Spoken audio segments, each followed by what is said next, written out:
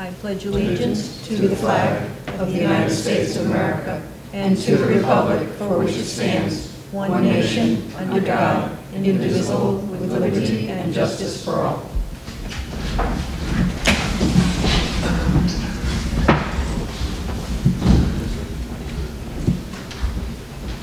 Uh, We're going to start tonight with a uh, a couple of hearings, and the first one is uh, Spicer uh, Marketplace, and we have a letter in our packet uh, from the attorney, Mr. Kamali.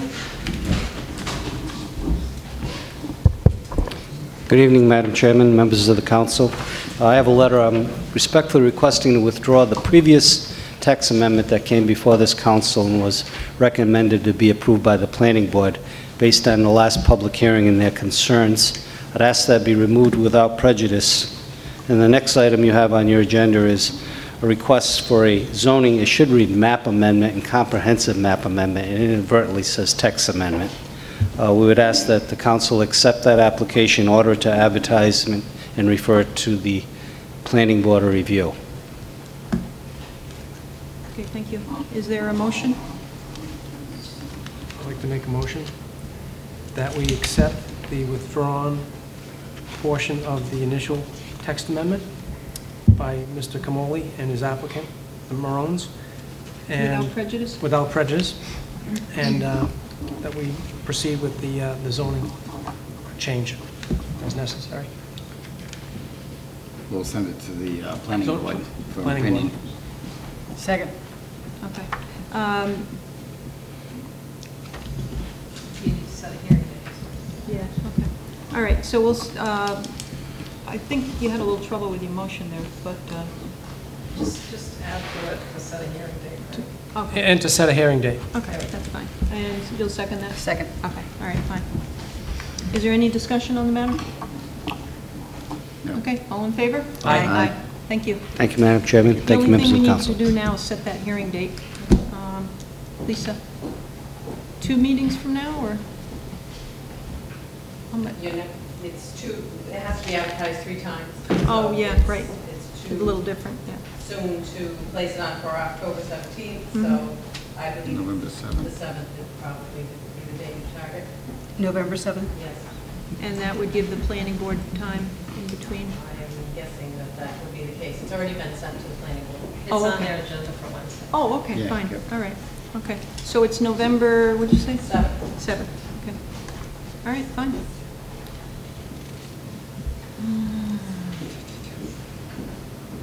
All right, thank you very much.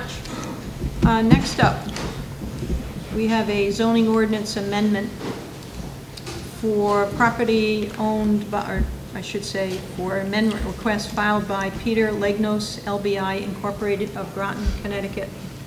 And it is the property at uh, 50 Chase Hill Road, Ashaway. And they're looking for a change in their zoning. Mr. Mr. Dar- Nardone, you want to, do you want to come right up? Yes. Okay. One of the things I just want to mention to the council before Mr. Nardone starts his presentation is that the application um, does not currently contain the signatures of the current owners of the property. And I discussed that with Mr. Nardone, and he's going to make certain that that is taken care of before the next meeting on this. I'm sorry, Ms. Cody, I didn't get the last statement. Uh, From where? The very last few words said. Uh, I said he's going to make sure that's taken care of before your next meeting. Should we change the S's to Ps? Or we just change it to manufacturing special, it's manufacturing, Yes. correct? Mhm. So the S's are still going to stay. Right. Yes. Yep. That's, Excuse me, perhaps the map could go way over there. It might be easier for everyone to get a look at. That's good.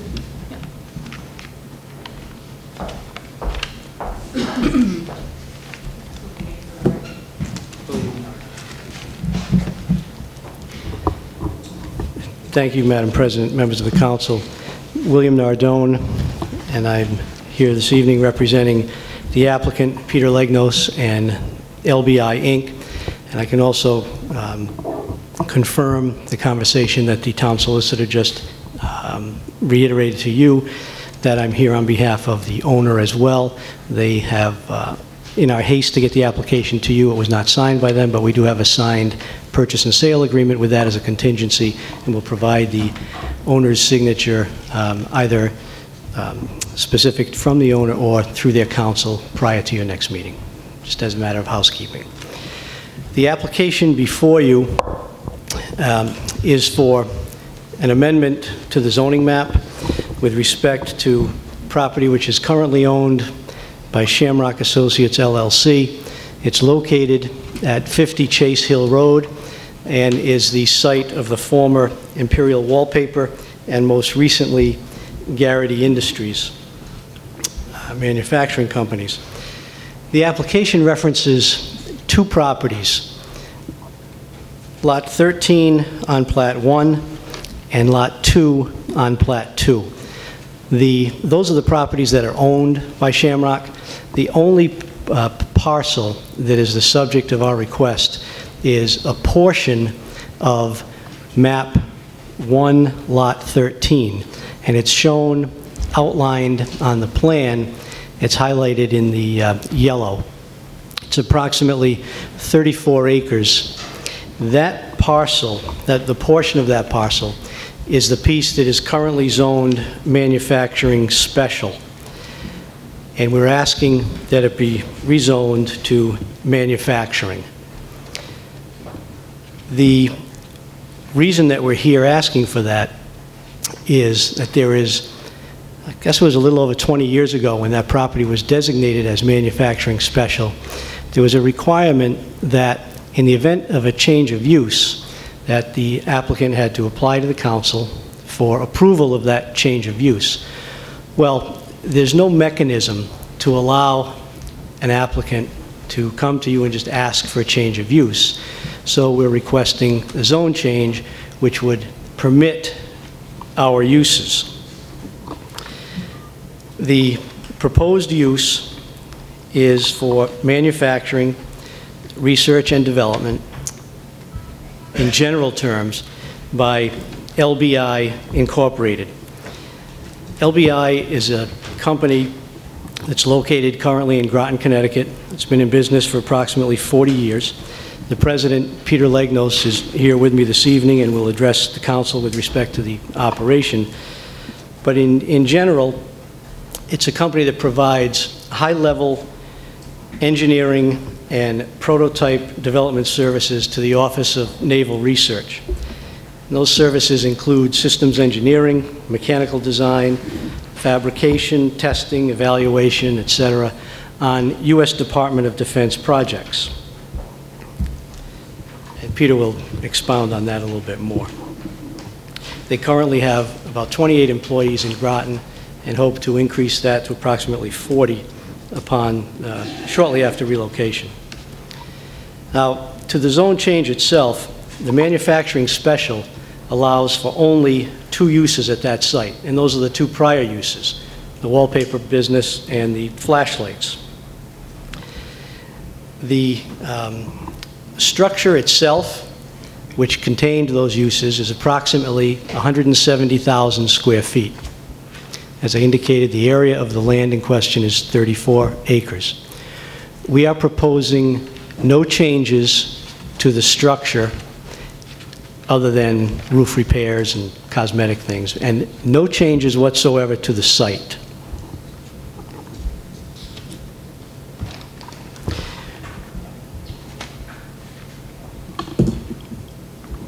We do have um, an opportunity with the remaining land, which is zoned residential, to discuss with the Conservation Commission and the Planning Board, and it's our intention to do so, with respect to the potential for some public access and open space uses. And we'll leave that as a discussion point um, for future, but we did want to make the council aware of that as one of Mr. Legnos's intentions for that property, because he will not have a use for the remaining 60 or 70 acres, significant uh, size of, uh, of that parcel. The, the use tables that are currently in existence were not in existence at the time of the designation for manufacturing special. And that was one of the reasons for the designation, because that gave the then council some protection, if you will, some, uh, some additional authority as to what uses could or could not occupy the property. Now that you have the expanded use table, there are a number of different uses that obviously are permitted.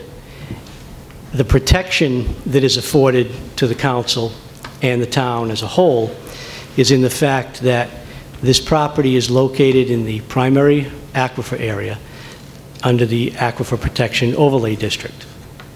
So, in addition to the requirement for the property to be zoned manufacturing, there is a requirement that we apply for an aquifer protection permit specific to the uses which we would designate from your use tables.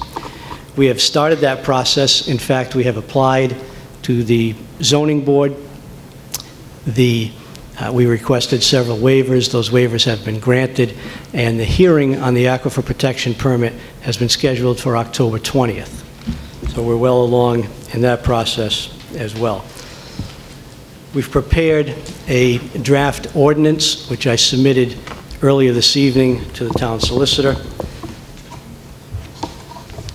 for review. And I'd like to, I'd like to make that a, uh, a part of the record.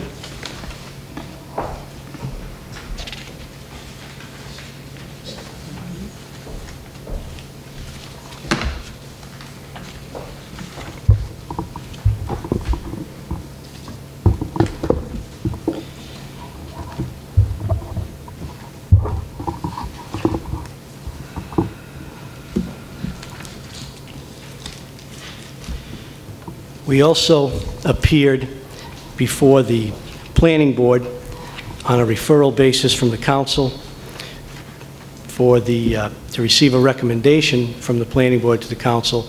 They submitted a memo to the council, which was dated September 14th, in which they indicate that the board moved to recommend to the town council that the zoning of Plat 1 Lot 13 be changed from manufacturing special to manufacturing.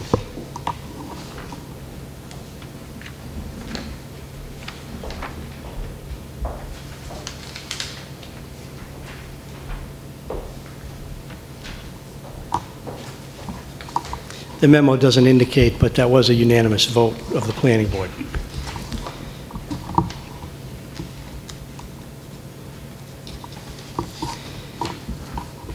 We are also in receipt of a letter from John Riendo, Business Development Manager from the, uh, for the Rhode Island Economic Development Corporation, dated September 30, 2011. It was addressed to the town manager.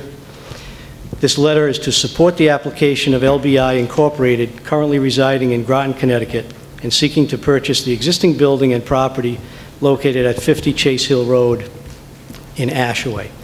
The Rhode Island Economic Development Corporation has been working with LBI to site them in Hopkinton as part of a relocation strategy that will add new jobs and economic activity to the town of Hopkinton and the state. LBI is a research and development company providing high-level engineering and prototype development services to the Office of Naval Research. The company employs high-skilled and high-wage individuals ranging from engineers to metal and composite fabrication on U.S. Department of Defense projects. I have personally visited the company's operations in Groton, where they have been located for the past 39 years, and witnessed their methods of design, engineering, and prototype development for unmanned undersea vehicles and other special purpose buoys for the U.S. Department of Defense. I found their management protocols and practices very conducive for the health of their employees and local surroundings. Recognize that their current location is situated within the watershed of the city's main drinking water supply source, and to the best of my knowledge, the company has never had an environmental accident. As with similar defense-related projects RIEDC has been involved with, we can only suggest that the town council perform their due diligence with a careful review of all the facts relating to LBI and their proposed operations for 50 Chase Hill Road. We are optimistic that the council will find what we have experienced with the company, that they are owned and managed by a person who cares for his employees, his customers, and is a good steward of the environment.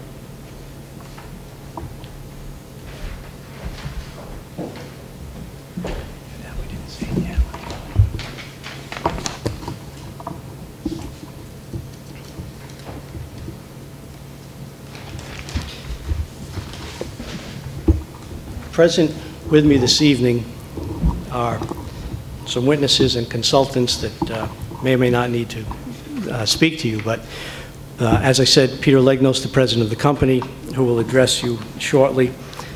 Joseph Lombardo, our planning consultant, will address the uh, consistency with the compre- comprehensive plan, and Michael Lenahan, the real estate appraiser, to discuss the uh, effect, if any, on adjacent properties. Also present is Pat Lafayette, who is the engineer on the project, and James Bernardo, the surveyor on the project. If there are any specific questions for those two, we can address those uh, toward the end of the presentation. The, uh, as I indicated, there are no uh, proposed changes to the site at all, but they're here to answer any questions that you may have. At this point, if you have any questions for me, I'm happy to answer them. If not, I'd ask uh, Peter Legnos to come and uh, tell you a little bit about his company. Do you have any questions, for Mr. Nardone, at this time? I I had one quick one. but- Go ahead. Yeah, Mr. Nardone, on, um, based on a letter we got from the building official, Brad Ward, it looks like um, use category 305 and 627 is already permitted in manufacturing. So I don't know if the- that seems redundant, but does that There- have to be included, I guess? in the- Actually, all of the use categories that we have referenced, and we've actually included one more, are permitted in the manufacturing zone. However, each of them requires an aquifer protection permit. So if the council sees fit to rezone this property to manufacturing, the uses that we are proposing will be permitted, subject to the zoning board granting aquifer protection permits. Do you understand? So that's the, that's the second level of protection that the town and, uh, Yeah, the- council the- has. The uses that he listed are already permitted in manufacturing, Okay. so he just listed them out for you, that's all. and there is, there is one more that um, was not included on the application. It was, I believe it was 341, which was, um, from memory, I believe it's metal fabrication. That's also a permitted use in that zone, subject to an aquifer protection permit. Those uses are some of the uses in, in uh, consult with the zoning official that we determined would fit the operation of this company. The company will not occupy the entire building, and at some point will be leasing some of it to other occupants. And obviously, whatever occupant were to go there would be first subject to Mr. Legnos's scrutiny, and then subject to its own separate aquifer protection permit if it were not one of those specific uses for which we have applied. And we're, we're well aware of that, that process. Uh, Scott, you had a question? Yes, I got uh, three questions, and I just want to make sure I get this. I know at the last meeting, we waived a, a tr- we we waived a traffic study. Uh, Do you anticipate any uh, difference in traffic from the previous uses? I mean, trucks that go into the facility? We, we anticipate, and Mr. Legnos can address this uh, more specifically, but we anticipate less, there'll be fewer employees there, and the delivery schedule uh, with respect to components and things that uh, Peter will be having delivered will be, um, I would believe, much less intense than the delivery schedules that were in the prior uses. And he can, he can address that more specifically when he comes up. But we did have that, that discussion and represented that it would be less. Because I know that usually uh, I believe the town has prohibited traffic on Old Hopkins Cemetery Road, so the access would have to be through Chase Hill Road. Uh, I mean, I'm, I'm sure it was blocked off for some reason, then uh, there would be a problem. The other, the other questions that came to mind, uh, uh, it says, uh, the history of this thing is very interesting, as, as you know, because it says, when this was passed many years ago, it says the change of the use each time had to come before the council. Would this change that this council would be asked to approve would once and for all take that off the table as far as your successors, whoever buys a property 10 or 15 years down the line or whenever, uh, will they have to still come to the council for uh, a zone change, or is this going to be in perpetuity until the council I'll changes? They- answer that, I'll answer that. Um, Yes, this would convert it to manufacturing, so anyone who wanted to, to buy that property subsequently would be able to have any manufacturing use there. They would not have to come to you to clear it. Any permitted manufacturing use would be allowed there. But. Again, with one, They would, they would also, s- they would still have to go get the aquifer Right. protection permit. So there's, Right. there's still safeguards In place. in place. And then uh, the other question is, and I uh, should have referred to that, uh, but you are making a presentation to the council. The other thing that I have is, uh, what, the presentation to the council has been, there's no changes to the site. In the future, you plan to have the same buildings and everything. In the future, when you do any buildings, you're gonna have to go to the building inspector for permits. So you don't see any way that the council would be involved in any expansion or maybe big expansion at the site, if it ever will come to that. No. in the event that we were to expand, physically expand the structure because of the zone in which it's located, we would have to go through the development plan review process before the planning board. But as far as, as council approval, it wouldn't be required, I just thought they were relevant questions to ask. Thank you. certainly. Uh, Anyone else from the council? No. Thank you. Thanks. Peter?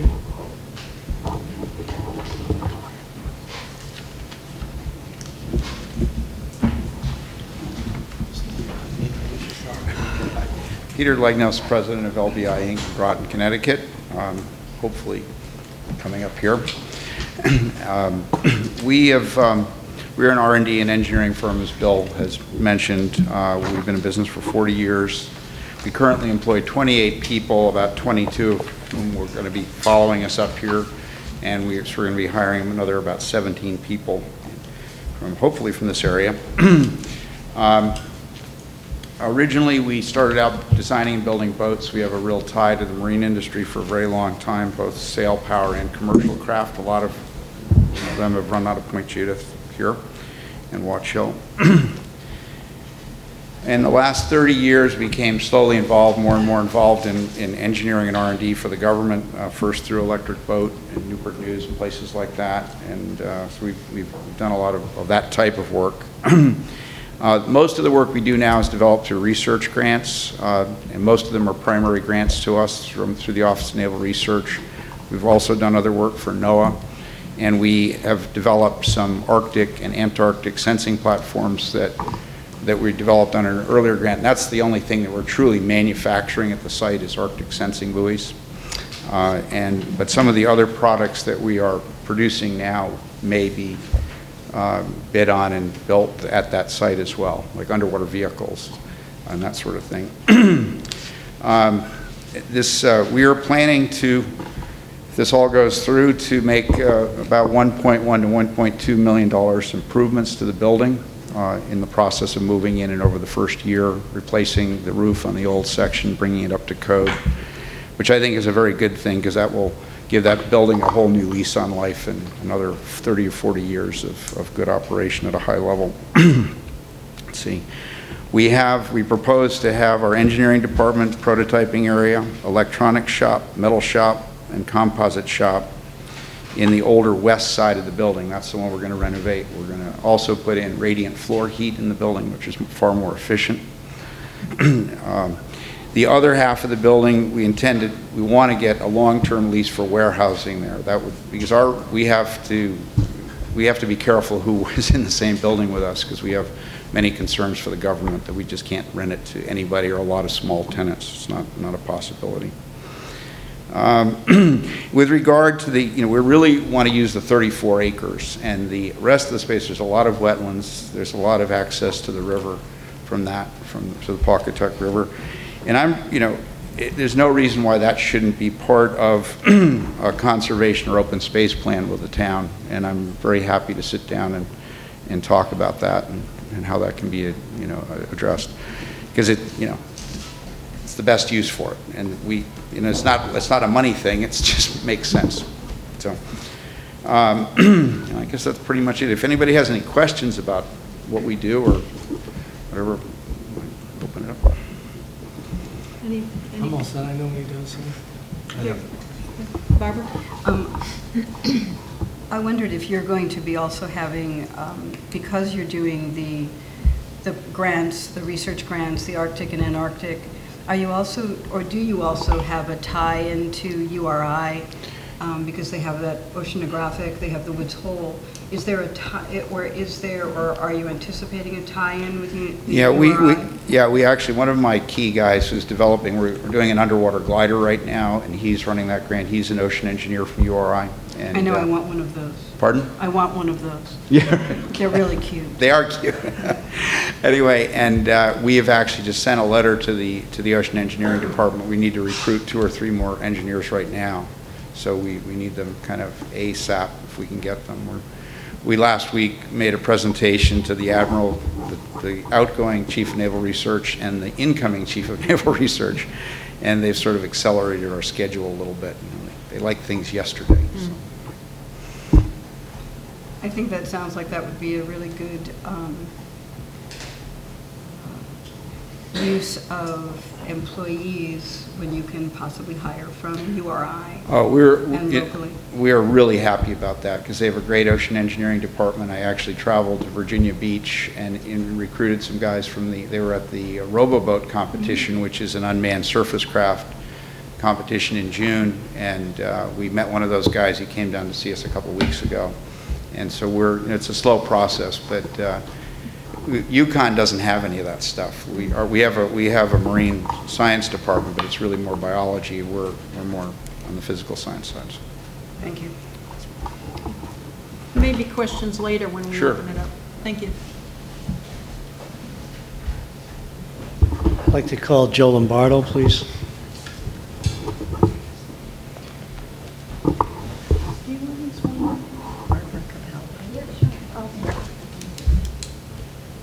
Lisa, or, yeah. Could you, could you swear in Joe, please, Mr. Nardo? Or do you want Lisa to do it? I can, Lisa, probably official if Lisa does. It. Oh, Lisa does it. All right. Okay, raise your right hand, please. Do you solemnly swear that the testimony you are about to give is the truth and whole truth and nothing but the truth? Yes, I do.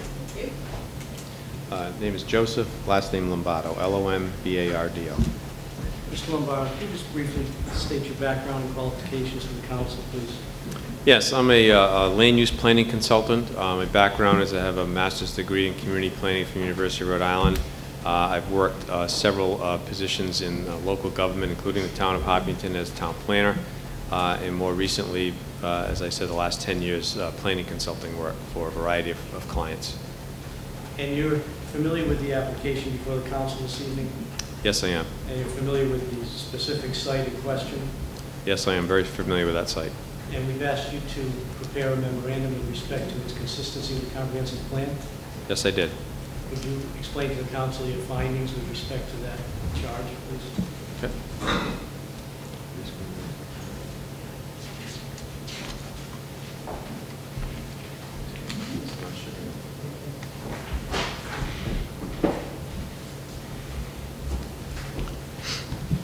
Good evening, members of the council. It's a pleasure to be here this evening. Um, I'm actually quite excited to, uh, to hear of a proposal like this, uh, particularly of a building that's, that's not being uh, currently utilized. Um, So what I'm passing out um, for you is I was asked to take a look at the project uh, with respect to its compliance with the comprehensive plan. Um, I know that you've gotten a favorable recommendation from the planning board as well uh, with regards to that fact. Uh, Just a bit of the, again, to reiterate the overview, this site is located on Chase Hill Road, and it is currently zoned manufacturing special. We're going to talk about that in a minute. Um, A portion of that site, of the, of the entire lot, is zoned manufacturing special, which is 34 acres. Um, The site is really surrounded primarily by developed and undeveloped residential areas, um, but this site has been in an industrial category for quite some time, as you all know. Uh, First by Imperial Wallpaper for many years, and then the Flashlight Company. Uh, When we, first of all, I'm going to look at the, when you look at the zoning considerations on page two of my memorandum, uh, this manufacturing special does allow for those previous uses, as Mr. Nardone pointed out, uh, but it does not allow for any of the other manufacturing uses which we now have in our expanded use table here in the town of Hopkinton. Uh, It also lies within the Aquifer Protection Zone, and it's a primary zone, so certain uses require a permit from the zoning board, as you know. So just a little, a little bit more background on this manufacturing special. Uh, I think Sylvia would probably remember this um, as well, but at the time of the adoption of the new zoning ordinance in the early 90s, uh, we went back and looked at all of the previous zone changes that the town council had granted, and a lot of them had a variety of conditions placed on them. And so this section that I'm quoting here in the bold in the middle of my memorandum is actually on- right out of the ordinance.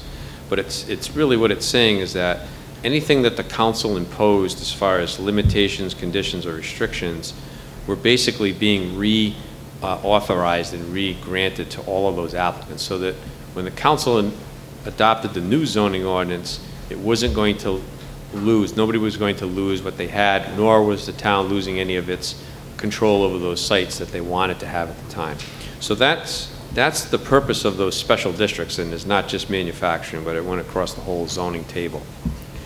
So when we look at the proposed use, there's, there's five uses that the zoning official in consultation with the owner looked at and decided these would be the activities taking place. They all are listed and they all have code numbers, uh, code 305, miscellaneous plastics, 465, general warehousing, et cetera. So you can see that uh, these are the uses that they intend to have there. But as, as, as they pointed out, they're only really using half of this building and want to be able to utilize the other half for probably one, maybe two major tenants. So again, it's, it's for the long term, it's for flexibility for the site. Uh, The, some of those uses in the manufacturing zone may also require a special use permit from the zoning board. So there's, there's adequate levels of uh, protection and review by the town and also state agencies with regards to the future. When we look at the comprehensive plan specifically, on page three, I talk a little bit about the land use element. Uh, When we, when we take a look at the land use map, the future land use map, it does indicate this site is manufacturing, uh, and it's been so designated uh, in both uh, the comprehensive plan map and the zoning map. Uh, And again, when we look at that, it talks about um, a little bit of text in the plan, talks about a continuation of the town's uh, manufacturing classifications. It talks about anything that has uh, special concerns, has a special use permit, and of course, the Aquifer Protection. There's site plan review by the planning board. So the town was very, very comfortable in keeping its existing manufacturing areas intact when it adopted the comprehensive plan, and that's what you see here on page three. Uh, I cited a land use goal on top of page four, where it talks about development occurring in locations uh, based on environmental constraints and the land being consistent with the future land use map. So again, we have a manufacturing designation on the future land use map. And of course, when we talk about manufacturing, we must look at economic development. Uh, The town has, has been doing quite well in the last five or six years with uh, fostering economic development, and this is another good example. I've cited again a couple of goals and policies here. Uh, Primary of that, goal number one is expanding the town's tax base. Um, New and existing light industrial into the, into the, into the town. So whenever we have that, we have investment. Uh, You heard uh, Peter just explain he's going to invest into the building and the property. Um, So we continue to add to our tax base. Uh, And lastly, uh, it talks about providing an, en- an environment here in the community that enhances the businesses to come here. Uh, this- You can hear that from the letter from the state, that John Riondo, that there's been activity uh, ongoing with the state to assist them to move to Rhode Island from Connecticut. And lastly, uh, hiring high-level, high-paying jobs, uh, at least another 17 employees. That's really good news for the town. Some of those people might live in town already or move to town. I think that's, that's a great, uh, again, consistency with the comprehensive plan. Uh, I also mentioned on page five, those purposes of zoning, which we also must look at. Uh, Does this line up with the purposes of zoning? And you can see I've cited a number of them here um, that talk about the uh, the orderly growth and development of the town, uh, providing a protection for the environment. You heard about possibly having some conservation open space area there, which I think is a good idea. Um, And also uh, promotes the public health, safety, and welfare. So really, in summary, um, you know, the fact that this development is consistent with the manufacturing business use and uses that are being, that have been outlined to you, uh, and if- and the fact that this map amendment doesn't really alter any other manufacturing special zones in town, it doesn't affect those at all, it's just this one site. Um, And the facts that all the required areas from a zoning perspective uh, are met or exceeded by this development because it, it's intact and he's not proposing anything to change, but there's 34 acres there, so there's more than enough room for this project to uh, exist on that site. And lastly, I do find it to being uh, consistent with the comprehensive plan, primarily its future land use map, goals and policies from economic development and land use. And so really for, based on all of that information, it's my opinion um, that this uh, application for this map amendment, this change, is in compliance with your zoning ordinance and your comprehensive plan. And I'd be uh, happy to answer any questions council may have. No, I'm all set, uh, Joe. I- I've been through this with the planning board, and and I'm pretty well familiar with it. I think it's a great move. I Hopefully, everything will work out, so, uh, yeah, no no questions. Barbara, fine for the moment. Tom? Same here, nothing. Scott, do you have any questions? Okay. Thank you, Joe. Okay, thank you.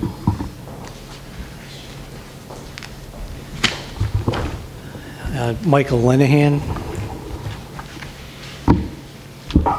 Yes. Raise your right hand, please. The testimony you're about to give is the truth, the whole truth, and nothing but the truth. I do, yes. Michael Lenihan, E L-E-N-I-H-A-N. Mr. Lenihan, could you briefly state your background and qualifications for the council, please?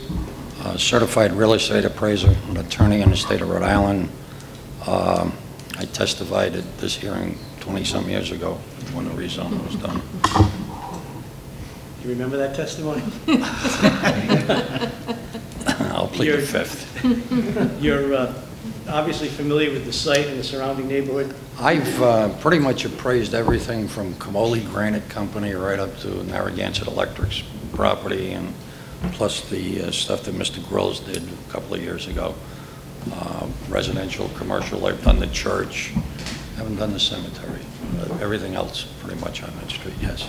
And based upon those appraisals, do you have an opinion with respect to the effect that this zone change may have on the neighboring properties and abutting I properties? do, and, and, and I'm, I've always been concerned about vacant buildings.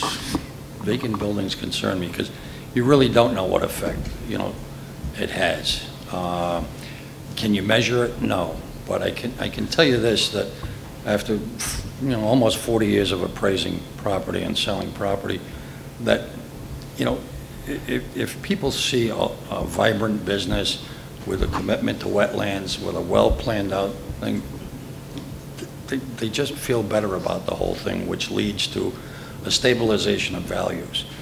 The building as it sits now, it really is, I testified 20 years ago, I don't think it has any effect on value, but I think it does have an effect on the neighborhood, and I think it has an effect on, on the overall community to, uh, in- in the way the community envisions itself. So my position would be, anything that's going to get that building up and running to an acceptable level to all the various um, organizations and, and uh, concerns, it- it's got to be a positive thing for the area and the town, and a positive thing for the neighborhood. question, Scott? Tom? Barbara? I have a, a comment. Um,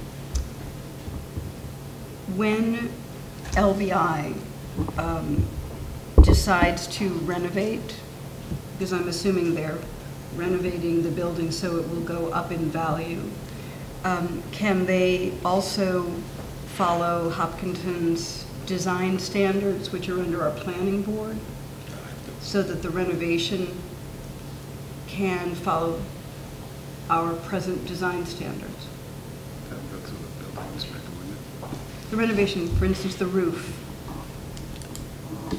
They would have to apply for building permits for any um, work that they would do to the structure, roof replacement, and I'm certain that they would comply with the current standards. The plan, the planned renovations that uh, Peter Legnos referenced to are obviously interior renovations to uh, set up the inside of the structure for their own purposes. Usually the design standards would be if you're building a new building, but especially if he's going to renovate any of the outside portions, if he could take a look at that, I would appreciate it. We will. Because we do have some nice high standards on quality of roof, quality of siding, and I'd certainly like to see that done as well. Would you come up to the microphone, please? Yeah, We intend to bring, bring the building up to the, the roof and the insulation to the current code, and if there's any architectural standards that go with that, it only makes sense to do that. It's Thank not- you so much. Well, I didn't a- address the traffic question, I forgot to do that, but the, um, with the traffic, we don't generate as much traffic as somebody like Garrity would do. Uh, We're, we're much smaller in, in the amount of, if we were manufacturing more, it would go up, but even when we manufacture a lot, it's, they're, they're small, more expensive things, so it's not like tons and tons of stuff coming in and out. Thank you for answering that question. Mr. Legnos? Wait a minute, excuse me. She got me here. No, we didn't. Okay, Lisa, how about if we swear Mr. Legnos now, but that he told the truth, not that he's lying? Because he wasn't sworn. in, I, I was so- gonna, I was gonna ask that question. Yeah, well, we're gonna take care of that right now, Mr. Legnos, so that, you understand what I'm after, Lisa? Yes. Thank you. Do you solemnly swear that the truth, that the testimony you gave was the truth? I do. You covered that nicely. Okay. So, Uh, Tom? Um, the only thing that I ask is when you do your renovations, um, I don't know if you've, uh, noticed, but in, within the last year or so, we've got a new dark sky lighting.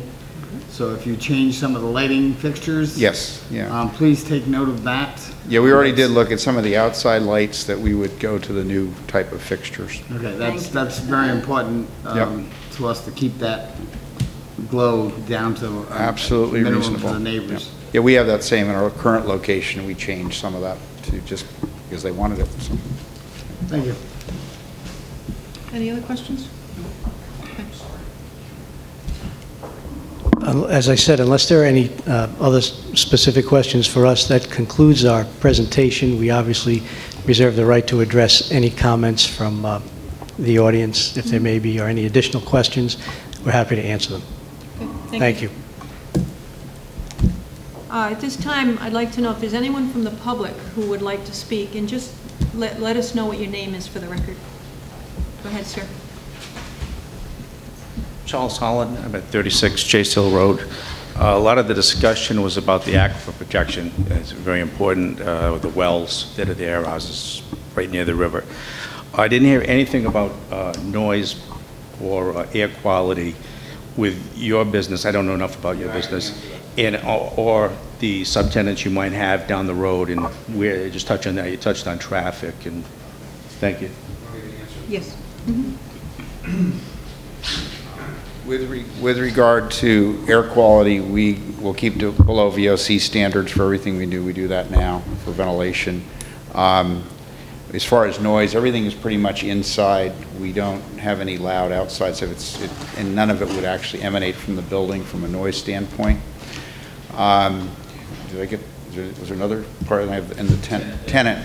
The tenant, we, the, we're really looking to work with a company that's looking for just warehousing space. They're looking for a 20-year lease right now that, and, and I don't know if they're going to come through, but that type of business that would basically just be using it for storage as, and as a distribution, yes. And not, not a lot of employees. I- The thing is, a lot of employees bring a lot of things into a neighborhood, and we're, we're not going to probably ever be that big in terms of employees. We'll never be like the wallpaper company or even as big as, probably as Garrity. So it's, uh, so everything's going to end up being inside, so I don't see much happening outside. We do have um, some test boats, they're, they're on trailers, it's, they're 11 meters long, which is about 36 feet, 35 feet. Uh, They're Navy ribs, like the Navy SEAL boats, which will be coming in and out from time to time, but we will keep those probably down in uh, Watch Hill, in that area, because we have an acoustic test area that we test out in Block Island Sound, one out south of Block Island, between Block Island and Montauk, so. So you wouldn't be testing them in the river? I guess we could put one in, a little one, and see how it floats. Can I do a follow-up? Uh, In in terms of the, uh, Could you come back up to the microphone, please?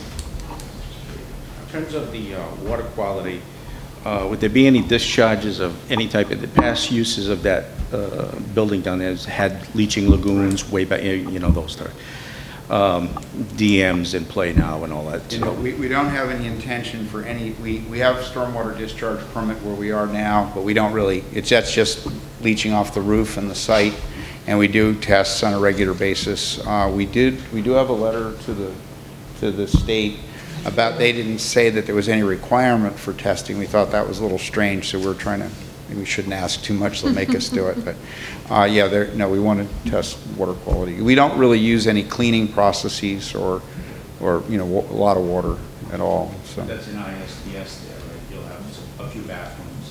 Yes, we'll have bathrooms, yeah, we'll have bathrooms and that sort of thing. Um, Trying to think what we do, there really isn't much, we don't even do much washing. I mean, it's, we do some sanding, we collect dust, that kind of stuff, but we have machines to do that, so. Thank you. You're welcome. Is there anyone else that would like to come up and speak? Yes, ma'am.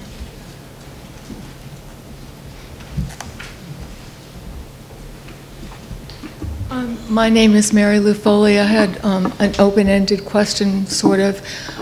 Would there be a public uh, bill of materials, a BOM, that would periodically be reviewed as ECO orders or ECOs would transpire?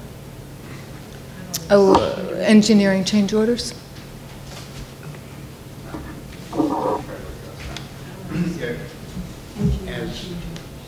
If we store or use different things on the site, I think we are required uh, by our permit to record that, and what's stored there and the amounts. That should be given also to the fire department. So in case there is a fire, that's to protect the firefighters and also pollution. You don't want to put a lot of water into something and spill it out into the environment, you you know, that sort of thing. But the building is fully sprinklered, which helps in that regard. But yes, we do have to, as what we store on site changes, we're required to report it. We just did a best management practices for our aquifer permit, which allows for that and gives a list of all the stuff stored on site currently that we plan to, but that will change as time goes on. And it's a, we have to do a monthly, a weekly check and keep a log, and, uh, and I guess if there's any major change, I'm not sure exactly how the major change works. If we, uh, Pat, do you know that? It's a reporting thing. Sir, you're going to have to, sorry, got to come up. Yeah.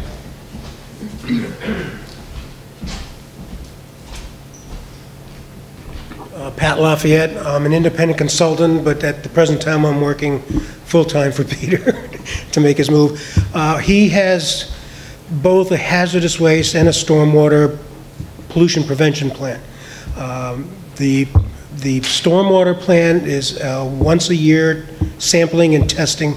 The hazardous waste plan is uh, OSHA-managed, uh, OSHA-regulated. Uh, He meets all the requirements of the government. All the the hazardous materials are stored in properly constructed rooms or cabinets for small amounts that are at a work location. So he's under the guidance of the government. Good. Thank you. Shouldn't he be sworn if he's working for Mr.? Oh, it's good. Everything I just said, yeah. Yeah. I just think for procedural, because when somebody comes before the council for expert witness or they're working for somebody, it's, Sure. Lisa? Would you raise your right hand? Uh, Do you solemnly solemnly swear that the testimony you just gave and any other testimony you might give is the truth, the whole truth, and nothing but the truth? Yes, I do. Thank you, Lisa. Anything else? Any other questions? Okay. Okay. Is there anyone else from the public that would like to speak? Yes?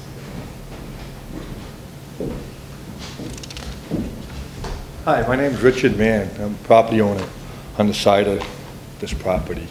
It's, uh, I wrote down a couple of things, and some of them were already answered with the the testimony from the other people. But uh, I'll read what I have just by.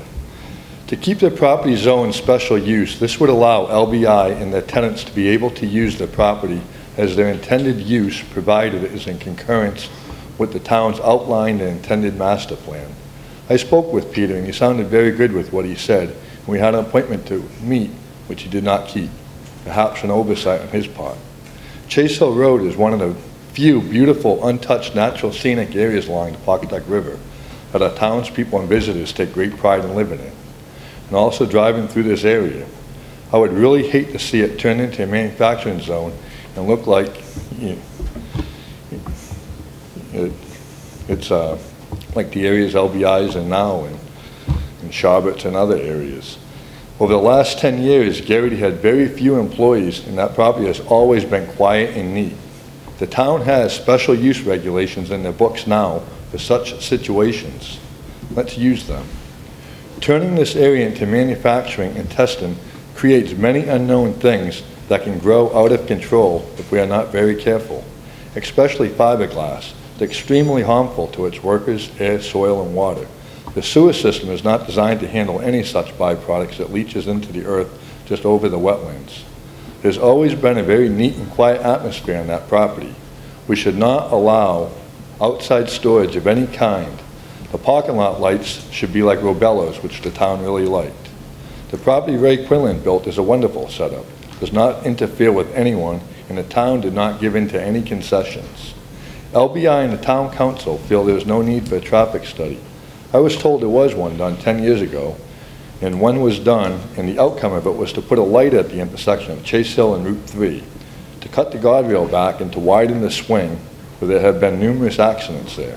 Tractor trailers cannot safely make a right-hand turn. 10 years ago, I used to live on Route 3 across from Crandall's Field. I rollerbladed down that road daily.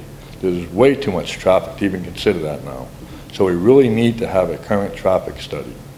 In closing, all I'm asking is that LBI and their tenants who want to use this property to just satisfy the town and its people that we will ensure to protect and preserve it as the town has always stressed its importance to the people of Hopkinton. Would you like to give that to the clerk for the record, or do you want to keep that? Thank you. Thank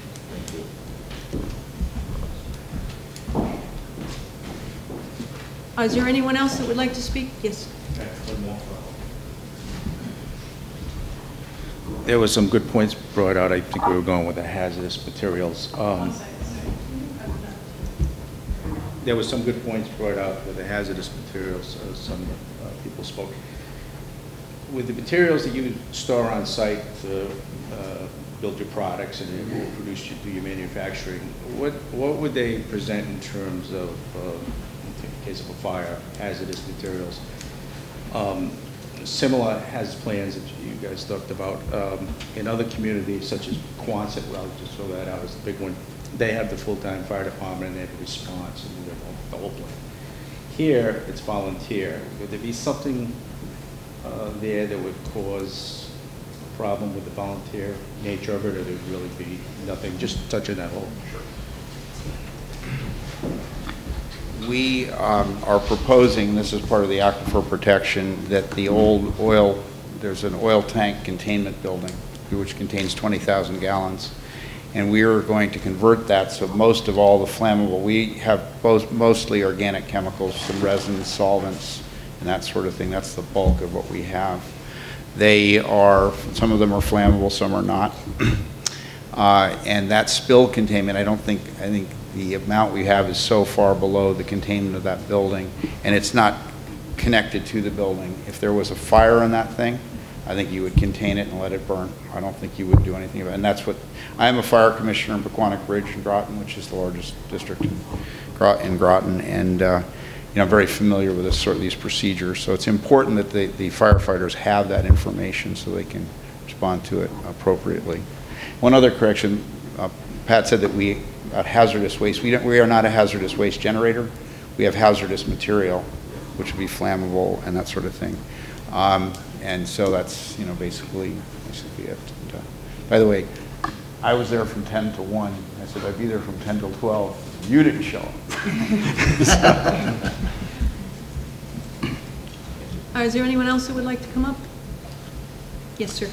And then you after. Hi, my name is Stephen Mack. I live at 79 Chase Hill Road. I have known Peter Legnos for 35 years. I like him. I've been to his company, checked it out, but not for this purpose. I didn't see any problem with that fitting into this uh, format. Uh, So I essentially, being within earshot of where Peter is, I'm at the top of Chase Hill Road, and if you drop a bottle loudly there, I will hear it in my bedroom window, especially if you do it at 5 a.m. Um, I don't have any issues with Peter being there uh, or his business being there, but I do have some issues. Um, And some of them, uh, my essential issue uh, has to do with the change in zoning and how that relates to uh, the town, as I understand it, not being able to regulate to a degree once it's moved into a manufacturing zone. Am I right so far?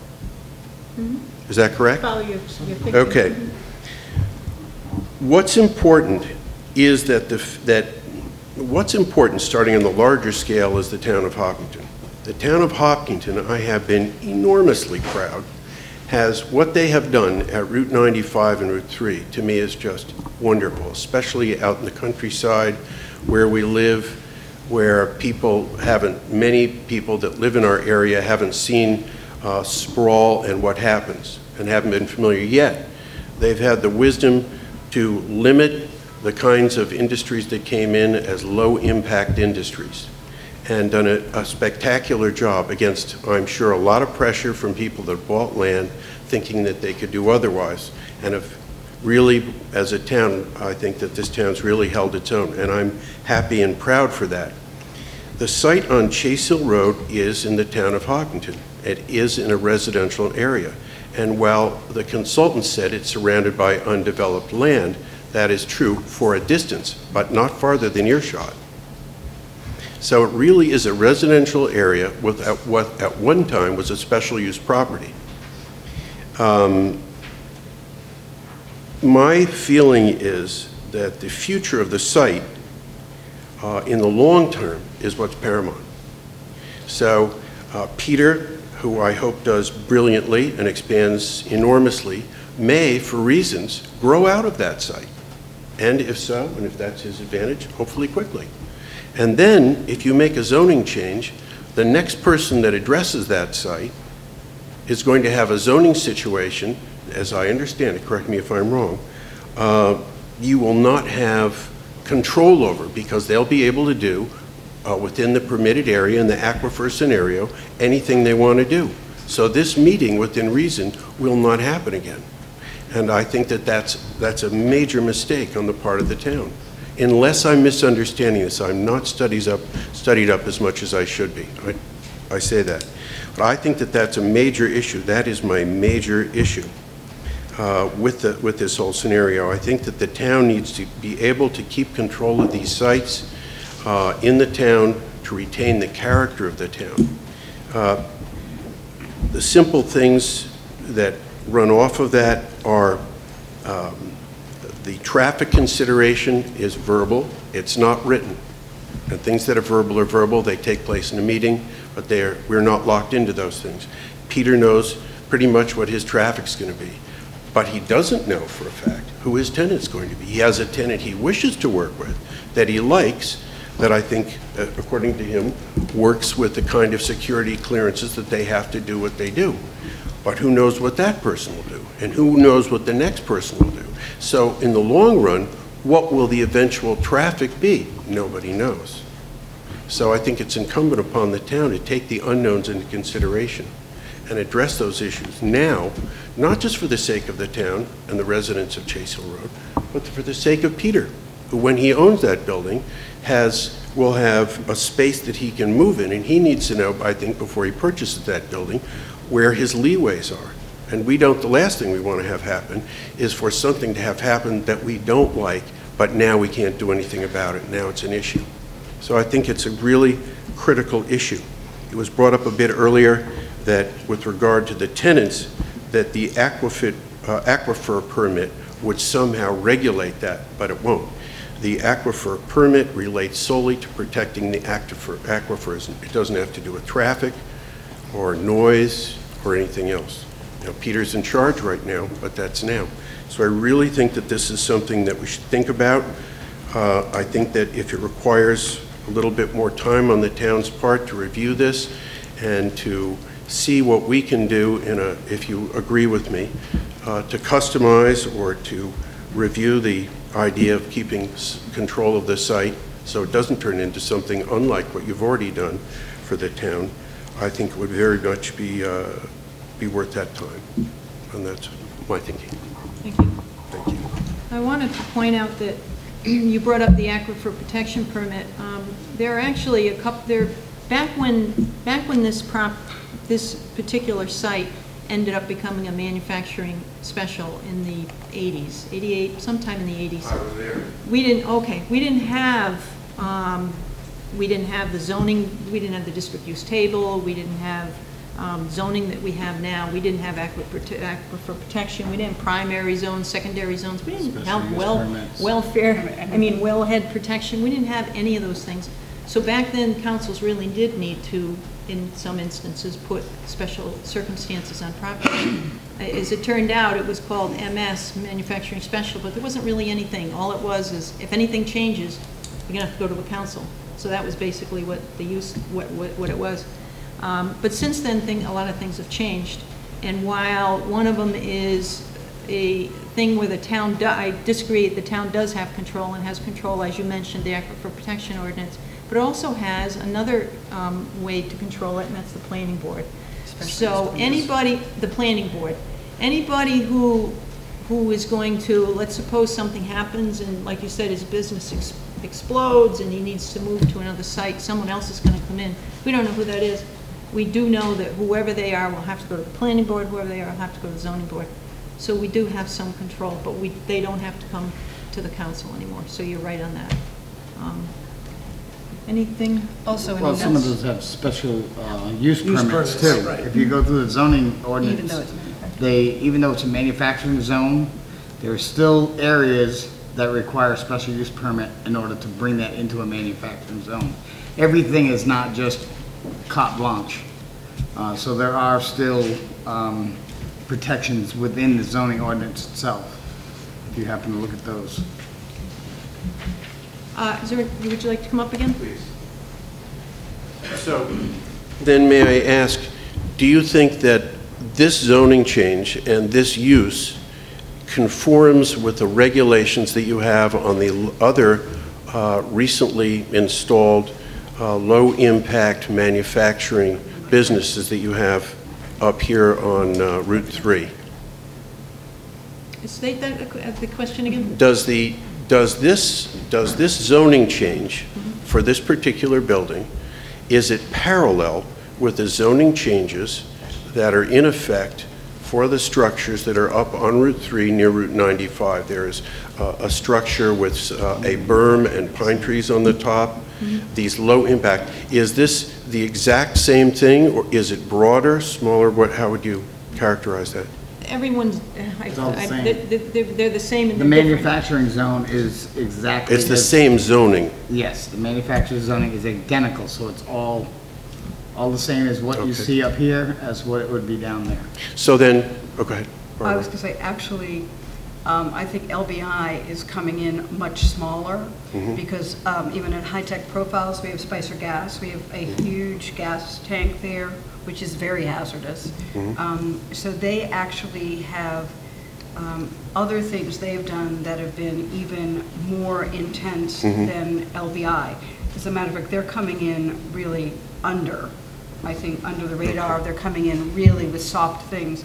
Uh, Your point that you don't know what's going to come in after that, um, even with high tech, when they came in with some bigger problem areas, like a, a gas company is problematic. Um, The planning board was able to handle that very well, make sure it was contained, um, make sure the aquifer permits worked. So I think that we do have those um, protections in place that weren't there before, not to mention we have um, active citizens who get very fussy when something comes in that shouldn't be there, Mhm. uh, which we have seen in any number of ways in Hopkinton, and have prevented many things that other people have wanted. Mhm. So I think that um, our motto is still in good shape. Then, a last point, I think, has to do with the traffic. Uh, The traffic scenario, which is not really traffic, let me say, the, the safety factor. When you're coming down Chase Hill Road and come into Route 3, the circum, there's a circumstance there, which this is broader than just L, LBI. But as you come up to the rise there, you do not have line of sight to the left. Now, I had the director of the uh, Highway Department, what is that, the Public Works. Public Works, uh, quite a few years ago, came down oh, through some efforts that I made to come and look at the site with a- an entourage of people that he works with, to talk about that. And they made some changes there, but not adequate. It's very dangerous. Now, when you look to the left, it is the underbranches to the left, and this would affect people as central as Peter himself trying to get out of there, or any one of us. When you look to the left, if somebody's rocketing down the road there, as I just missed the end of my days with a teenager or a year or two older, quite a few years ago by about that much, cranking along around 75 or 80, you can't see them coming in time. The lower branches are at issue, not the trees. When I talked to the, uh, to the fellows from the state, he said, oh my God, because he'd been doing it for a while, and I'm sure that was the state of things with him. He said, oh my God, the, the, the, the environmentalists, will go, they'll go crazy because it's a flyway. Okay, so, but I think the lower branches are an issue, and I think that that's an important issue. Uh, If he has employees, it increases the traffic, actually, it's an important issue for all of us. I think that's something that, one way or another, needs to be addressed. I realize it isn't entirely for this by any means, but it's important. And I think the other thing that Rick brings up is absolutely true. Uh, After 35 years on Chase Hill Road, I have seen that uh, guardrail to the right get crumpled up so many times, and they come back and replace it, and then they cut it back a few stanchions, and then they come back and replace it. And it's a really lousy turn. Now, to fix it, I think, the only thing you can do is raise the plane of Chase Hill Road as you approach it, which is a really big job. And then you're dropping off into Camoli's, and I don't know what to do. But one way or another, if we're going to have an active business there again with tractor-trailer trucks, no matter how expensive the contents are, uh, there's tractor-trailer trucks. It's just the way things get moved. I think it's something that needs to be addressed, and it's a pain in the neck because it isn't easy uh, for anybody. So I, do you have, just- I don't know if it's appropriate for me to ask if you have any thoughts on that. I- Maybe I don't, I'm not allowed to ask things like that. No, it But I mean, how do we address that? Sounds to me it's something that we can give to Bill McGarry and Public Works can take a look at it. Yeah, I mean, it's- Especially the it's lower tough. branches, we may not be able to redesign the road, but we certainly might be able to cut some of the They branches. belong to Westerly. Oh, great. Yeah, it's a I'm sure we can state, it's a discuss it. state issue and it's another town, but it's still a problem. They're friendly. Yes, they Oh, are yeah, friendly. Absolutely. Okay, all right, And if we Thank pay for the work, they might actually. right, okay. Thanks so much. Thank you. Oh, I'm sorry, I meant the gentleman back there, and either one of you can go up. Oh, oh, I, you guys are related, huh?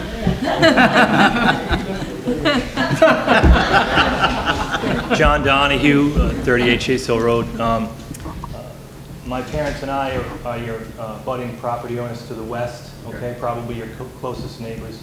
Um, No one asked this question, um, what will the hours of operation be? And um, I guess if this is granted um, and there is an issue, how accessible will you be to your neighbors? Thank you. Thank you. Yeah, Our standard hours of operation are basically 8 to 4:30, although we often start at 7 and work a little bit later. Uh, So we, we might work, you know, if we have a big rush, we might work till 8 o'clock at night or 7:30 or something like that. We're basically a daytime operation. And I will be working on site there, and I'm accessible. I'll give you my cell phone, you can call me anytime. It's that kind of person. So, yeah, it's just easier to talk than it is to avoid people. I mean, they- they're, they're really, you know, and I- I'd like to work on that corner there at Sherman 3 too. I I volunteer for that, so. Okay. Thank you. Is there anyone else? Yes, sir.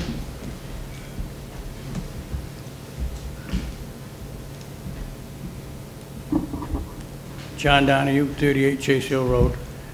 I'd just like to, uh, if you could answer your question, and you talked about the open space and the public access to that uh, property. I don't you, I don't understand what you actually mean about that.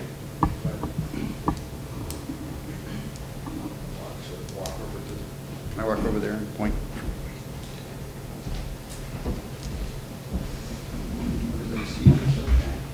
Uh, the building, building is here, and this area is the manufacturing zone, manufacturing special zone that we were asking to be changed.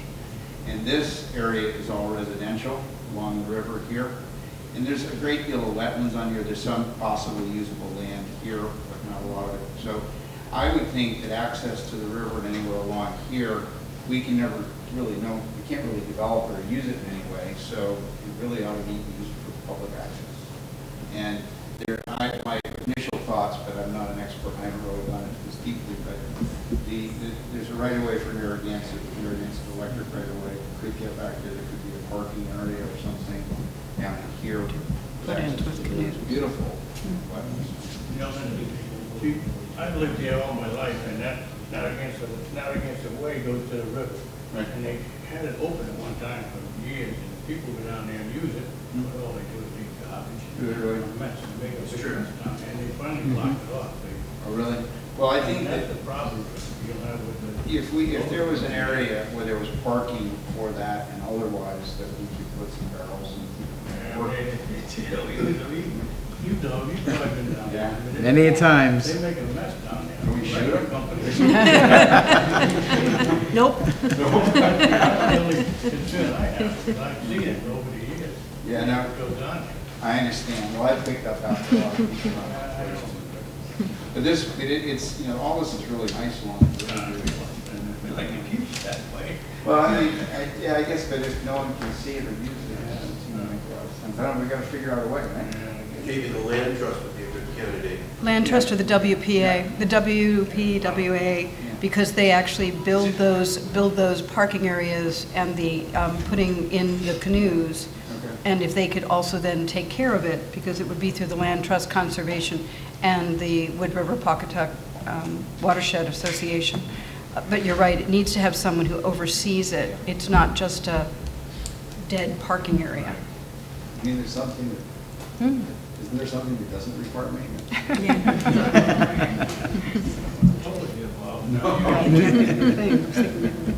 I'm Connie Donahue, and I obviously live in 38 Chase Hill. Um, Would you come up to the microphone, please? Sure.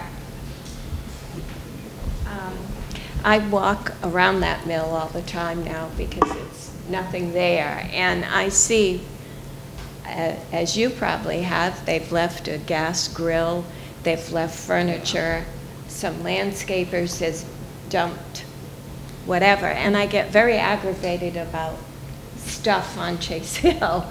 Um, And I think wherever you have people who have public access like that, they don't, they don't live there, so they don't care. Yeah. And it, it's very aggravating to me to see along Chase Hill, all the garbage. I mean, I pick it up all the time, but obviously, you know, it just is a concern that if, if you don't have any control over that, I mean, if, if something happens. Excuse me, ma'am, and you're Mrs. Mann, I assume? No, Mrs. Excuse me, I mean Donahue. Mrs. Donahue, excuse me. Okay. for the record, Mrs. Donahue. Yes, sir. Those those are very hard questions to answer. Um, But uh, I think that if there were a land trust that somebody who was involved with maintaining it as part of the whole effort, that would be probably useful and, and would stand a chance of success. Yes, sir, you want to come back up? Hi, I had two issues. It's, uh, this lady mentioned about the gas tank out for Spicer. I was at that meeting and Spicer and the lawyers and all that were saying how safe it was. And the council was saying it's how hazardous it is. And I came up and I spoke because my mom's house blew up with a small gas mm-hmm. tank and she died. Mm-hmm. So I was like, I couldn't believe that Spicer and their people let us all believe it's not harmful, yet we know it is. That's what I'm saying, Steve said it very well, how we just can't blow this out of proportion. And I own all that land on the other side of Narragansett Way, except for two acres. And I've been working with Narragansett Electric to get control of that road. And, and then I came to the town to build one other lot there, and there's a big deed construency where that road is deeded to the people that live there. And then, so LBI does not have access to go down there and to use it as a public parking place, but people can just go, leave grills and party and all that stuff. It's, that would be a detriment to all my property down there. And it's, um, and, and that's why to have him have his 38 employees or 17 more and to, if he needs 5,000 feet to do fiberglass work and resin work, I don't have a problem with that. I just have a problem with this turning into, you know, it's like, we're just gonna do this, but once you open the door into manufacturing, it's, it's gonna just get blown out of proportion. And I own businesses in North Kingstown. And then Home Depot tried building, and it's like then Walmart was able to, then Staples is there, and then all these buildings went up. My taxes never went down. It's, so having a tenant coming in from Groton could be a great thing, but I'm sure you don't want me come here and say, I want to develop my 80 acres, because I have 500 tenants out from Norwich that want low-income housing. It would take away from what Hopkinton's all about. And I pay big taxes in Hopkinton to keep it rural. And Chase Hill Road, you know, all those stone walls and the river, mm-hmm. Do we really want a mill there? You know, it's like, please consider what you want to grant. Thank you. That's all I'm asking. Is there, um, you would like to come up? Yeah, if I could Please, just add please. one point of clarification. Brad Ward, Building and Zoning Official, Town of Hopkinton. I want everyone to know that this zone change is not going to be just manufacturing. Right now, it is manufacturing special. It's going from manufacturing special to manufacturing. And the difference between those two is that in 19, in November 1st, 1988, the zone change went from RFR 80 to manufacturing special. The special portion of the manufacturing zone is four conditions. Those four conditions are, number one, if the use as it currently exists is discontinued, or if a new owner wishes to change the use from its current use to another, a change of use permit will be required from the council. This mechanism can't be accomplished. There are no provisions installed by the council to obtain a change of use permit, so it's archaic. Number two, the planning board shall have final approval of any plans for the proposed expansion of a building or parking area. As Mr. Nardone specified earlier, this is a requirement of development plan review for any commercial zoning district for manufacturing. Number three, the CNA should notify the town council if any new classes of chemicals, dyes, or processes are to be introduced or prove that the waste treatment will be inadequate not to cause pollution. This aspect is scrutinized in-depthly at Aquifer Protection. Number four, the CNA will provide in consultation with the town solicitor a conservation easement or similar mechanism for ensuring that no development will occur within 300 feet of the entire property line bordering the river, as shown on that certain map. Mr. Legnos wants to provide and work with the town to provide open space or whatever required of all that land that wasn't in uh, contesting as far as item number four went. Therefore, the only thing that this is doing is removing four archaic conditions. He is still entitled, once he meets these conditions, to have any permitted use as it occurs down at High Tech and all the other new things that you mentioned, sir, I'm sorry I don't know your name. Okay. So that's essentially all that this is doing. It's just removing four conditions that no longer are applicable and are highly scrutinized by other town boards and other public hearings within uh, the town. Can I ask you a question? One, Brett. Thank you, Brad. Um, Scott, you had a question? Yeah, I have a question for Mr. Ward. Oh, please, I'm sorry, I didn't mean, I didn't mean disappear, but thank you. Hi. Uh, Obviously, these, uh, you're always interested when you're on the council to set precedents and and to be fair to all applicants and uh, try to cover all the bases. Uh, Two things. uh, I remember that property, and I've lived in town all my life, that was Warner Brothers in the 60s. And uh, so that's been around at least since the 1960s. Uh, I know there's a sentiment in town about having dark skies, about lighting. Do you see any concern about uh, that being an issue at that site?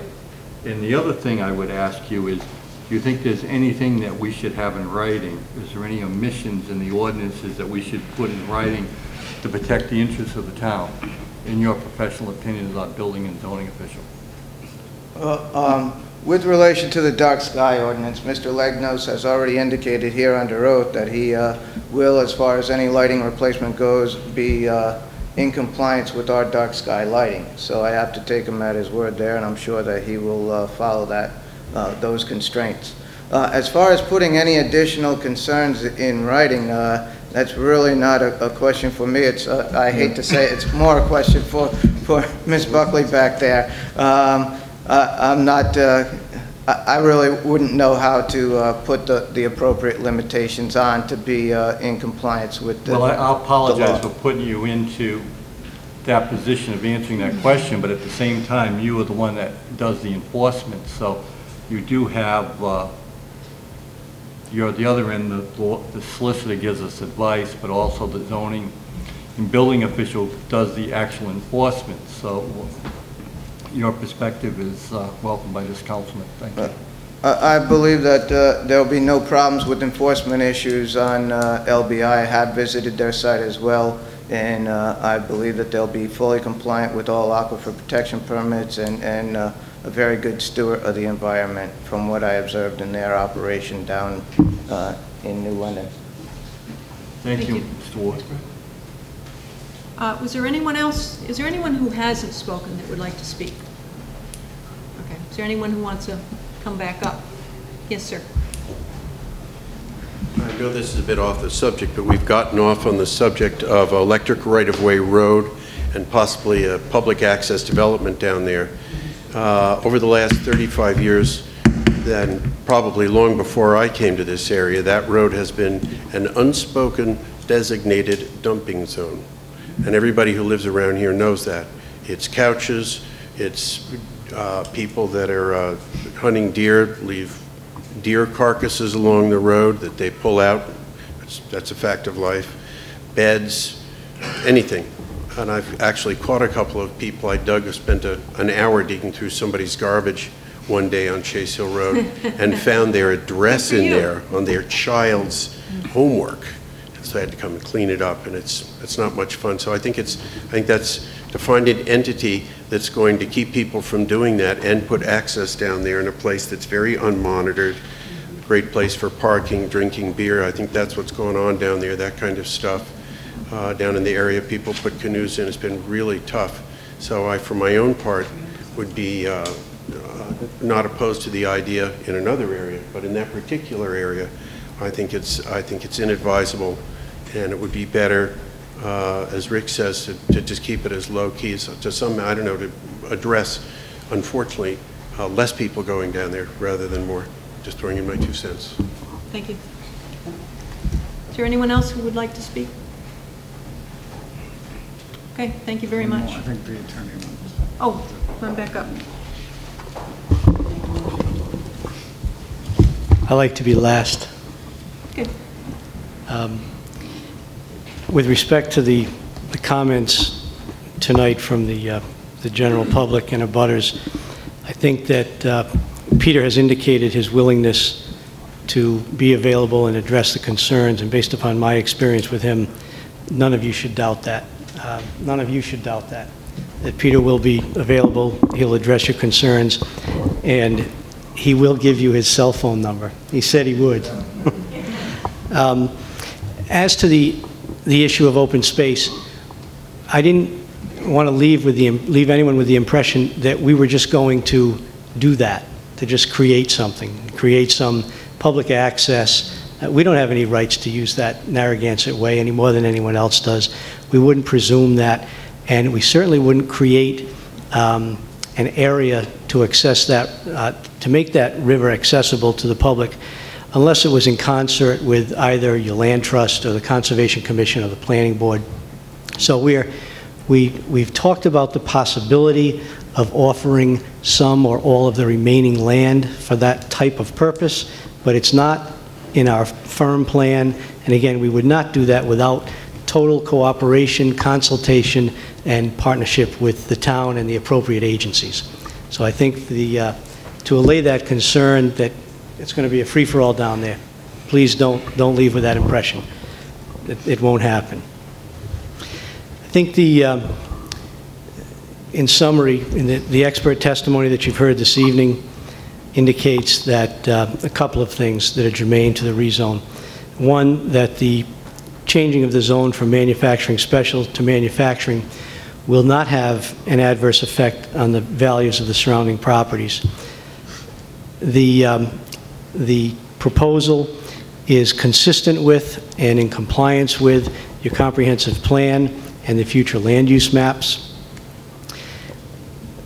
The Rhode Island Economic Development Corporation, I think it's safe to say, is excited about this possibility. And I believe that the town of Hopkinton uh, should be as well. And I think, I think that you are. This corporation will provide high-quality, high-paying jobs.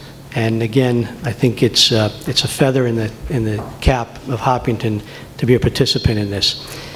LBI, despite the fact that they have received all, if not all of, most if not all of the required approvals to expand where they are, have chosen to make Hopkinton the site of their next phase of expansion and success.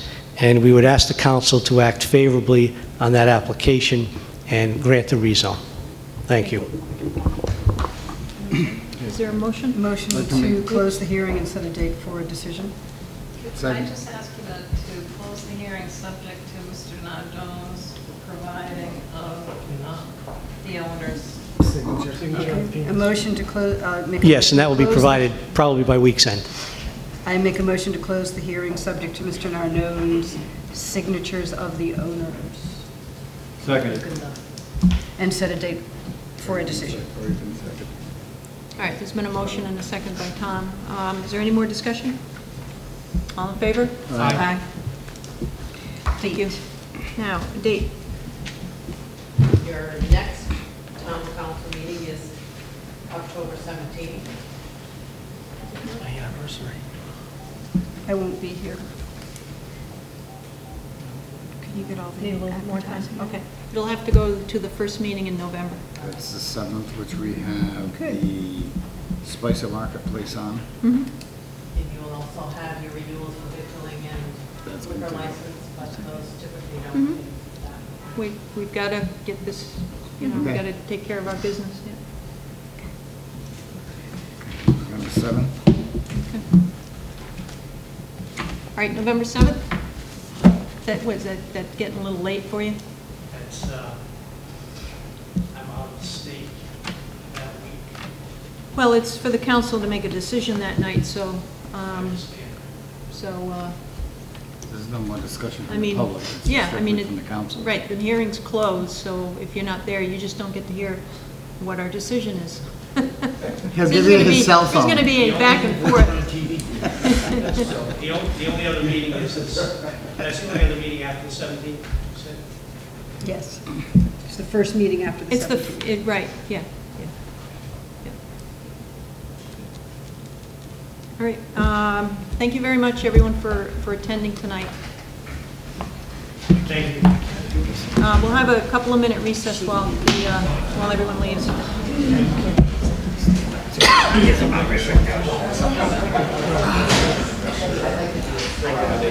Tom was trying to get in there to make that, uh, motion for the hearing, so you couldn't continue. That's all. I didn't continue. I know you didn't.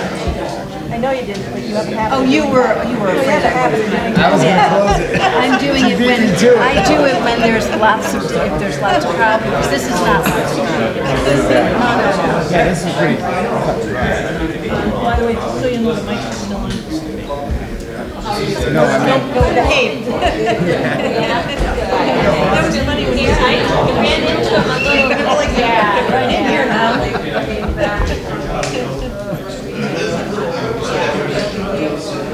I'm just gonna realize that so much more protection now than there was in that zone. I'm only gonna give them like two more minutes and then I'm gonna tell them to get out. I hope you're gonna make We're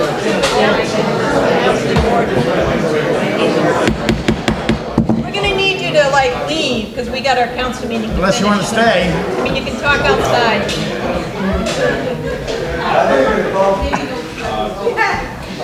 This Mrs. Donahue, good seeing you again. See you soon.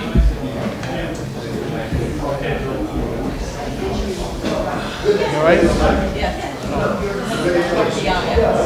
Oh, my goodness. Stress? Just one of those Thought that was a stress thing. No. Oh, no, that's the star. It swells up and make you look it over. You see me over the weekend. Regressing to my teenage years. Scott. Huh, where is he? Kelly. Yeah, he must drink a lot of water before he gets in here. There he comes. Come on, Scott. They're just not gonna leave. Please, we've gotta finish our meeting. It's nice, to- oh, it's raining out, that's why they don't wanna go out. Oh, yeah, it's pouring out. I think it's still raining. Okay. All right. Our five minutes are up. All right, next on the agenda is the consent agenda. You're going to pull September 6th. Okay. September 6th? Mm-hmm. Yeah, I have a problem with that myself. Okay, is there anything else to pull? No. Uh, Motion to approve town council meeting minutes of September 19th, 2011, set October 17th, 2011 as a hearing date for commercial hauler's license filed by Joseph Vinagro for Patriot Disposal Company, except the following reports, tax collector, which includes adjustments. Is there a second? Second. All in favor? Aye. Okay, September 6 minutes. Page two.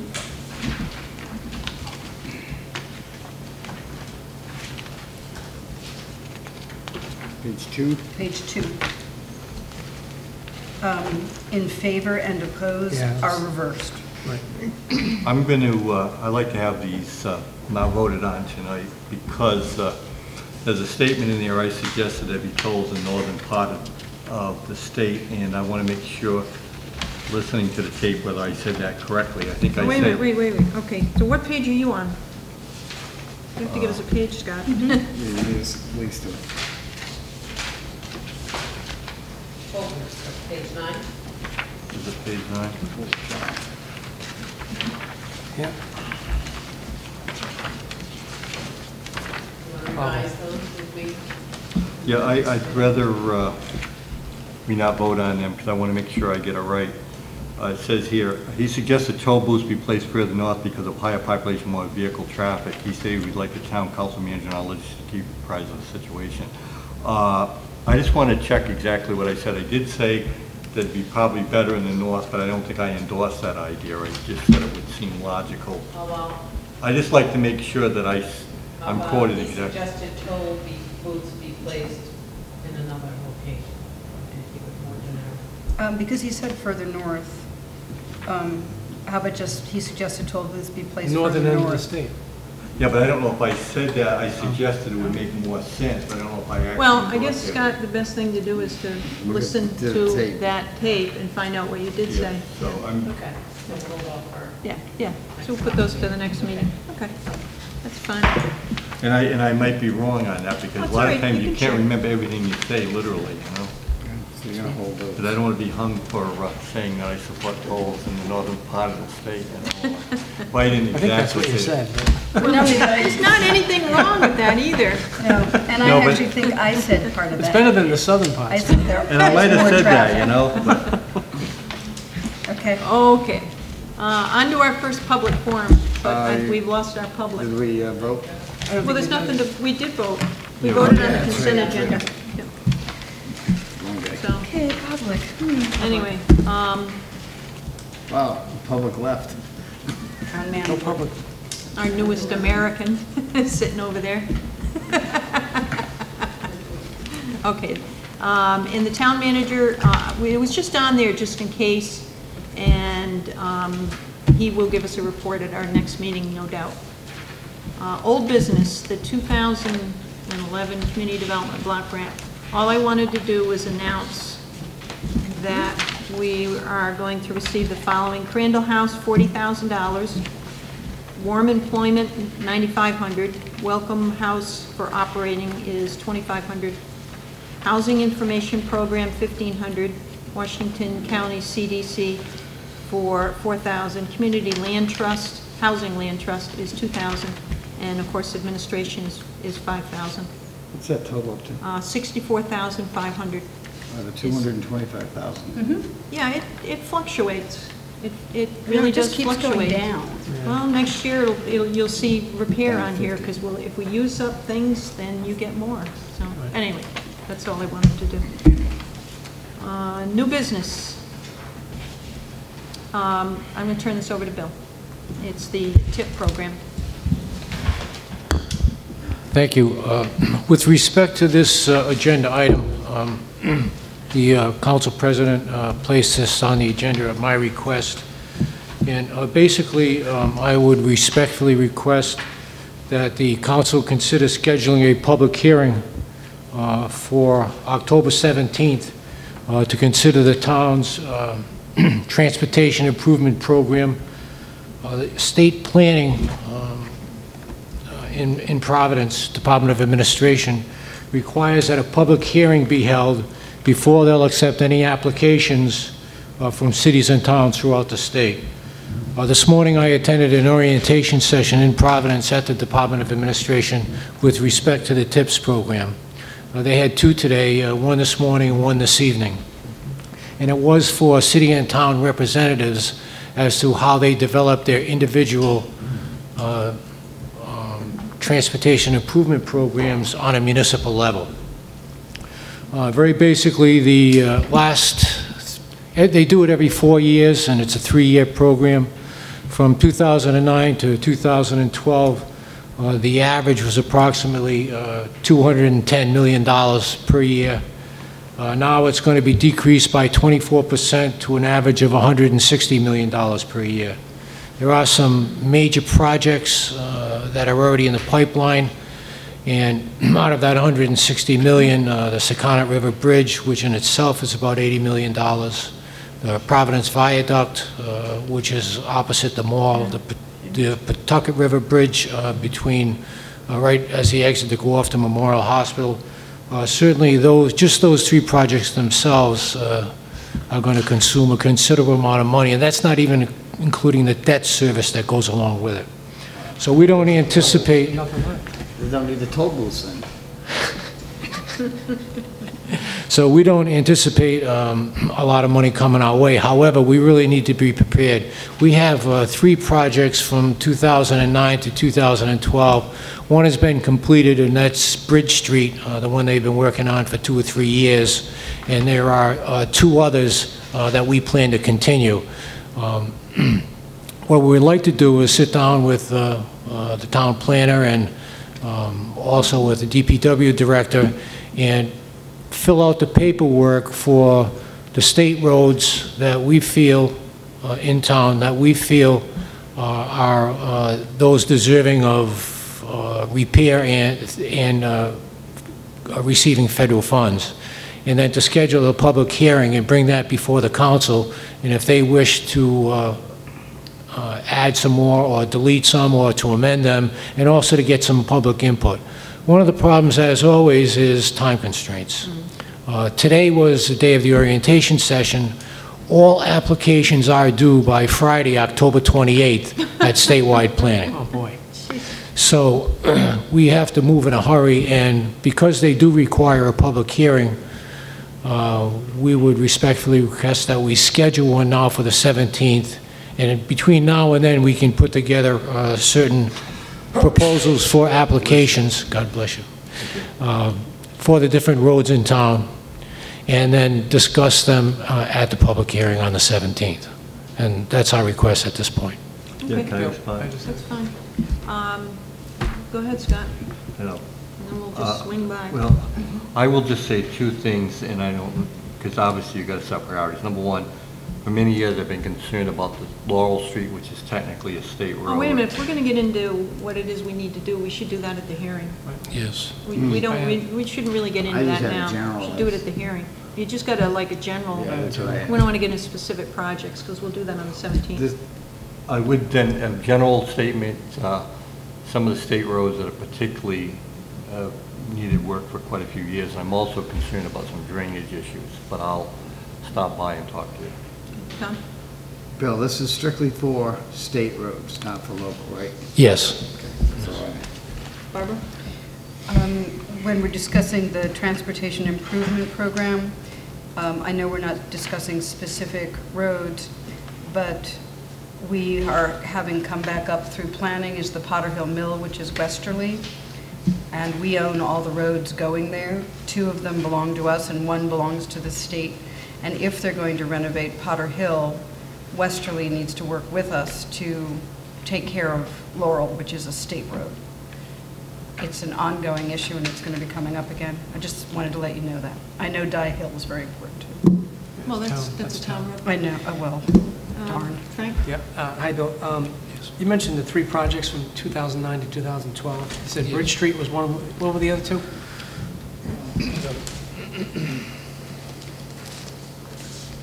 Bridge Street's done, that's all set, looks great. Yeah, I've got them here. Just curious. Uh, There are three project, uh, three projects. The first one is the Wood River Bridge number 261. Uh, And I checked with uh, DPW, who checked with the uh, Hope Valley State Garage, and basically, that's the bridge by the chemical company on Route 91, the abandoned chemical. Oh, yeah, yeah, yeah. That's that bridge there, and Okay. The current status uh, is, it's in design at a 90% rate, and it's non-prioritized by the state. The funding for that is uh, $210,000. The second uh, project is uh, Bridge Street, that's recently been completed. Completed, yep. Yes. That was great. And the third one is uh, drainage improvements uh, under a traffic safety program as opposed to a bridge program. And uh, for the town of Hopkinton, it's Mechanic Street.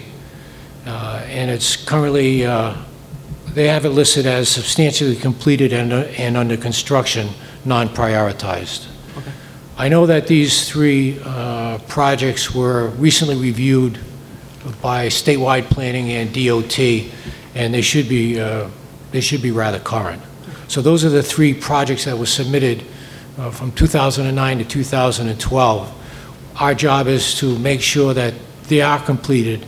If they're not completed, uh, we can continue them on the this next, 2013 to 2016 to make sure that they get done, and then add the new ones uh, that, uh, that we feel are needed. Okay, great, thanks, Bill.